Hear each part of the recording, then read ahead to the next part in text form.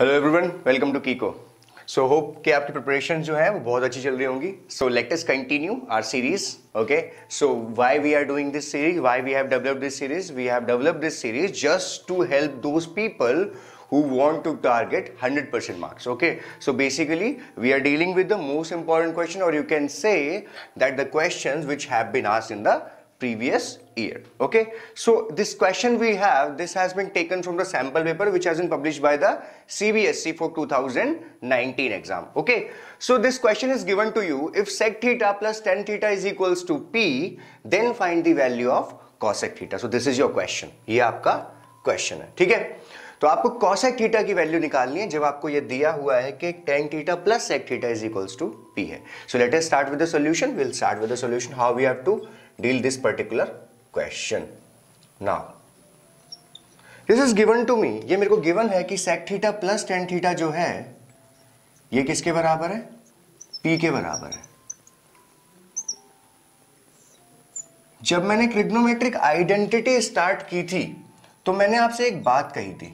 मैंने आपसे ये बोला था कि if I don't know what needs to be done next अगर मुझे अगला स्टेप नहीं समझ में आ रहा है कि मुझे क्या करना चाहिए तो मेरा मोटिव ये होना चाहिए ट्रिग्नोमेट्रिक आइडेंटिटी सॉल्व करते वक्त कि let us convert whatever trigonometric functions we have into sine और कॉस फ़ंक्शन तो आपको क्या करना है? इन ट्रिग्नोमेट्रिक फ़ंक्शंस को साइन और कॉस की फॉर्म में चेंज कर लेते हैं। So let us start with this solution so I do this one upon cos theta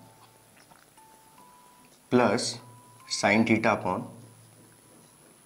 cos theta that is equals to P अब यहाँ पर अगर मैं इसको सॉल्व करता हूँ तो मेरे को वैल्यू मिलती है one plus sine theta upon cos theta ठीक है? तो अब यहाँ पर कुछ बच्चे क्या करेंगे? कुछ बच्चे कंफ्यूज हो जाते हैं. दे थिंक अबाउट कि अब क्या किया जाए? मान लीजिए कि आप यहाँ से साइन थीटा की वैल्यू निकाल पाते तो आप साइन थीटा की वैल्यू अगर आप निकाल सकते हो तो you can find the value of cosec theta sorry I have written this thing wrong we need to find out the value of cosec theta हमें कॉसेक थीटा की वैल्यू निकालनी है, ठीक है? तो अगर यहाँ से अगर मैं साइन थीटा की वैल्यू निकाल पाता if I could have found the value of sine theta तो I can find the value of cosec theta but यहाँ पर एक चैलेंज आ गया. चैलेंज इज़ कि यहाँ पर कॉस थीटा भी है। अब आप सोचिए साइन थीटा और कॉस थीटा के कन्वर्जन के बारे में सोचिए कि कौन से ऐसी वैल्यूज़ हैं जो आप फाइंड आउट कर सकते हो। So I know one identity which is sine square theta plus cos square theta equals to one ठीक है? बट वहाँ पर भी थीटा जो होता है, वो वो जो फ़ंक्शन होते हैं ट्रिग्नोमेट्रिक फ़ंक्शन वो कैसे होते हैं? स्क्वायर होते हैं। तो मेरे को वही क्रिएट करना पड़ेगा और if I want to create that particular thing उसे क्रिएट करने के लिए मैंने क्या किया?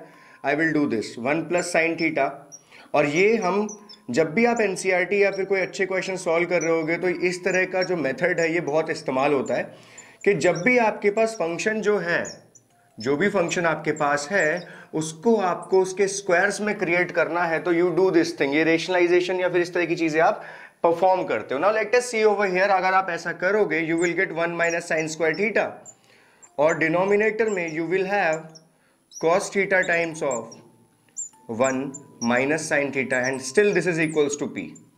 ठीक है? अब भी ये किसके इक्वलेंट है? पी के ही इक्वलेंट है। Now let us see what is one minus sine square theta this is equals to cos square theta ठीक है? आइडेंटिटी इस्तेमाल कर ली।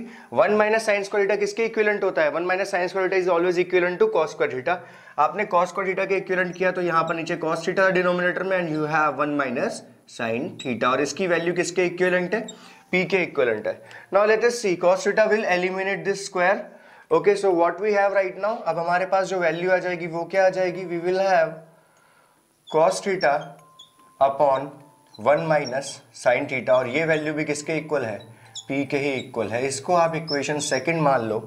Now you have this equation इसे आप फ़र्स्ट मान लो। अब बच्चे, मैंने ऐसा क्यों किया? आई टेल यू जब मैंने इन दोनों को ध्यान से देखा तो मुझे ये समझ में आ गया कि अगर मैं इन दोनों को मल्टीप्लाई कर देता हूँ फ़र्स्ट इक्वेशन को सेकंड इक्वेशन से मल्टीप्लाई कर देता हूँ तो कॉस से कॉस क्या होगा?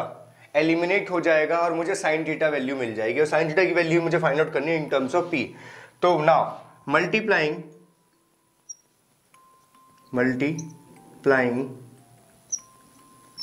first and second. तो आप क्या करोगे? लेफ़्ट हैंड साइड को लेफ़्ट हैंड साइड से मल्टीप्लाई करोगे और राइट हैंड साइड को राइट हैंड साइड से मल्टीप्लाई करोगे तो you will write one plus sine theta upon cos theta into cos theta divide by one minus sine theta ठीक है? Now this will equals to P into P देखो, यहाँ पर भी right hand side में P था, यहाँ भी राइट हैंड साइड में p into P will give you p square now let us see over here cos theta will cancel out this cos theta now what we have? We have 1 min 1 plus sin theta upon 1 minus sin theta. Now this is equals to p square. Okay अब देखो, आप इस equation को ध्यान से देख के आप देखा, सोचें तो यार, मैं साइन थीटा की वैल्यू निकाल सकता I can find it clearly बहुत आसानी से निकाल लूँगा। और साइन थीटा की वैल्यू आ जाएगी तो कॉस थीटा की वैल्यू आ जाएगी। तो लेट सॉल्व दिस प्रॉब्लम इसको सॉल्व करते हैं। मल्टीप्लाई कर देंगे तो क्या बच जाएगा? One plus sine theta is equals to P square minus P square times of sine theta. चलिए साइन थीटा की टर्म को एक साथ ले लेते हैं तो I will get sine theta plus P square sine theta. Now p square, this one will come over here और यहाँ पर माइनस वन बन जाएगा।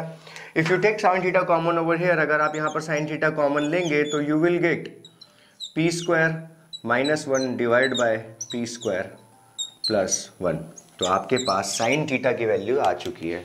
ना व्हाट इज़ कॉसेक थीटा? जिसकी वैल्यू आपको फाइंड आउट करनी है।